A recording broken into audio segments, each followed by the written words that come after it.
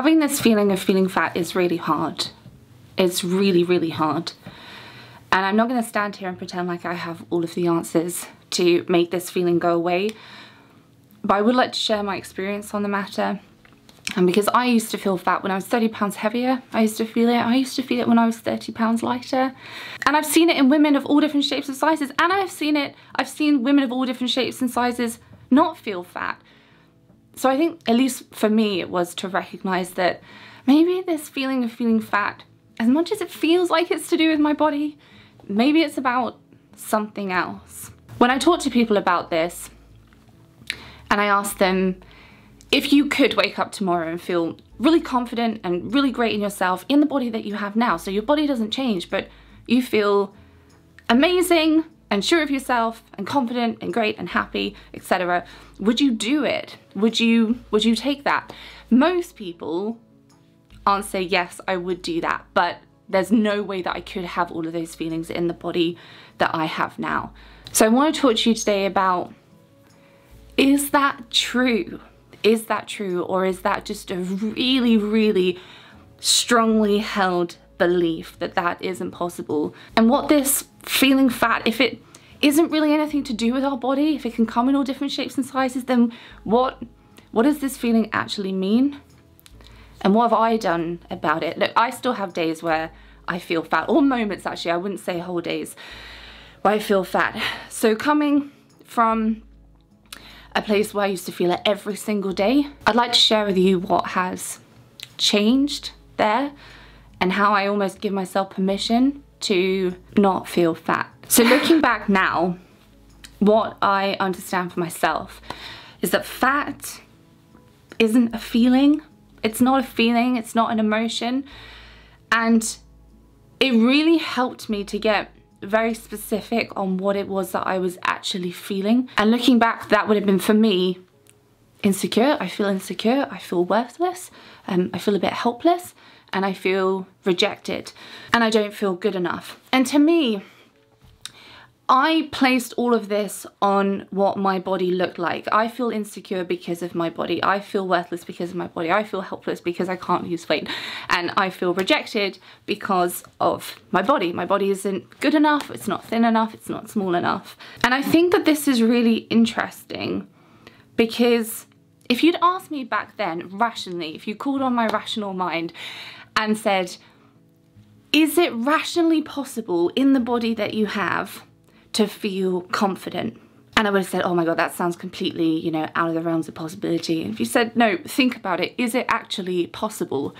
I probably would have given you a really reluctant, okay, yes, I guess it is feasibly possible. I don't know how I would do that, but I suppose that it would be feasibly possible.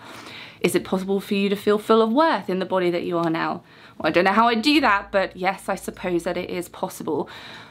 So what I find interesting is how closely I married these feelings with my body image when they actually weren't related. The beliefs that I had of if I'm in this body or if I'm not at this weight, I should feel insecure or I should feel worthless was really, really strong. And I don't want to downplay how strong and convincing that belief is because I know. I don't know if I did this because it was easier at such and such weight. I can feel happy, I can wear these clothes, I can be more outgoing, I can be more confident and simpler in some ways to pin my complex emotional world down onto one very simple thing, which was the number on the scale. And I think that's really interesting because it wasn't true, but it, it was true because I was saying that it was true. And so if I did get to that weight or I was losing weight, all of a sudden I was more confident and I was happy and I was more outgoing. But not because my body changed, but because of the associations and meanings that I put on my body brought that into being. Does that make sense? I think if I was really honest about it, what I was looking for when I was looking to lose weight or be a certain size was permission almost to be happy and be confident. I'm just speaking from my personal experience. It wasn't actually about the weight itself. I just wanted to have those feelings and, and the belief that I absolutely could not have them in the body that I had was incredibly strong and convincing. So one thing that really helped me was coming to understand what it was that I actually wanted. And after a lot of resistance, realizing that the things that I wanted to feel and do and be actually didn't have anything to do with my body. There are exceptions to this, of course, I'm just talking about my personal experience. Exceptions might be health related things or mobility related things. I'm just talking about me personally. And then for me, it was about asking the question, without my body changing, how could I feel confident or not feel insecure? Or how could I feel full of worth and not worthless? And how could I feel like I can help myself and not feel helpless? And if I feel rejected, what's that actually about? Besides the associations and meanings that I put onto my body about what it meant that I could feel and do and be, the other thing that I would do is I would use my body almost like a, a scapegoat for negative feelings or to kind of distract me from other stresses in life. I did this a lot. For instance, if I was feeling sad, I, I experienced that as feeling fat. I feel sad. Oh, you know, it must be because I'm too fat is how that would go. Or I'm feeling really overwhelmed with all my schoolwork. I wouldn't feel this way if I was thinner. Then life would be great. And so I've, I've actually read a lot about how if we feel fat, a good question to ask is, what emotions are we actually experiencing? Because fat's not a feeling, so what are the feelings that we're experiencing? And for me, it was about asking, is that because I've placed associations on my body about what I can feel or should feel in my body? Or is it about I'm feeling this emotion and I'm using my body as a scapegoat? I wouldn't be feeling this if I was thinner. And again, I don't know if I did this because it was easier or it simplified things for me. It certainly seemed to make life seem a lot more simple, although incredibly stressful. It was like, have you heard that Lily Allen song of everything's cool so long as I'm getting thinner? That's how I felt. Everything is okay or would be okay if I was getting thinner. I didn't have to experience negative emotions because life was great, or I had permission from myself to feel confident and happy. And I think this really played into my obsession with the number on the scale because it had all of these meanings attached to it. You know, a large part of my emotional world and internal world and my experience in reality suddenly became about this one number. But it kind of worked in the other way as well because I had in my head, if I'm getting thinner or if I am such and such weight, then I won't be unhappy, I won't be insecure, I won't be stressed about daily life stresses because I'll be in such a good mood. It worked the other way as well. If I was feeling sad or insecure or stressed, it meant that I must not be thin enough. Does that make sense? So I got myself really, really wrapped up into this and believed all of it completely. It's a very real experience. If I was saying like I have to be this weight in order to be confident, and then I got to that weight and I would be confident, it kind of confirmed to me, look, so you are really confident at this weight, but what's really happening is I would get to that weight and then I'd say, Rach, now you have permission to be confident. Off you go, out you go. And I could have done that at any size, you know? I would often have, because I yo-yoed up and down in weight, I would often have this notion of if I gained weight, then I feel fat because, you know, I've gained weight, so I, I should feel fat, is how it was working in my mind. But again, this is just arbitrary associations that I ascribe to it. You know, if I go up in weight by 10 pounds, then at that weight, then I should feel insecure. And so if I went up by 10 pounds, lo and behold, that belief would set in and it became my reality. And these beliefs for me and others that I've seen, we're not solely responsible for creating these really strongly held beliefs.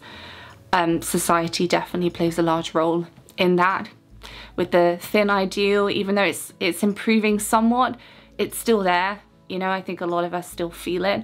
Um, but I've also seen and I was fortunate enough that there wasn't much of a discussion on weight when I was growing up, but I have spoken with people where it was a huge discussion of weight and, and carers or people around them had kind of instilled ideas about what weight means about a person. I worked with someone once that whose mother said that people in larger bodies are weak. It's just an awful thing to say. And she really internalized that message and she struggled every day with not feeling strong enough. But all of these associations, it helped me to ask what's actually fact here? if I'm in a larger body, is it a fact that I'm weak? It, it, really can feel like it when that's the messaging that we've grown up with or we've internalized. It really can feel like it, but it's not actually a fact. It's just a really, really strongly held belief.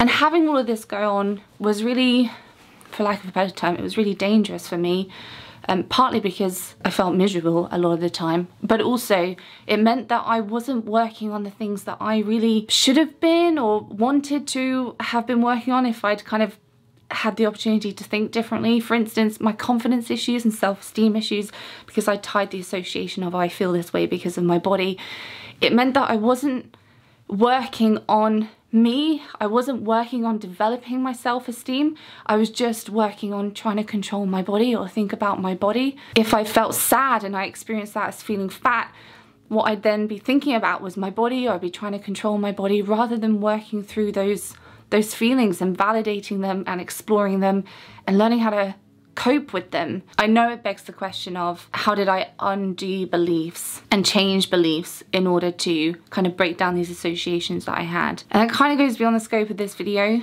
but one thing that did really help me, and again, this isn't advice to you personally, I'm just sharing my personal experience for what it's worth for your own reflection and exploration, is I would notice when I was doing this to myself and instead of thinking, okay, I've gained five pounds, I feel insecure let's take that as an example. I've gained five pounds, I feel insecure, I feel fat, and I feel not good enough, and I want to shy away.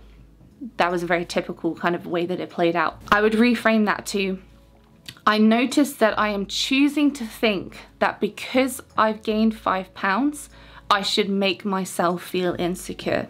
I've recognized this as a limiting belief or an unhelpful thought, and I'm gonna dismiss it. And this took a lot of time, um, especially because I was so much wrapped up into my body image, so many limiting beliefs as it were and unhelpful thoughts. This did take a, a lot of time.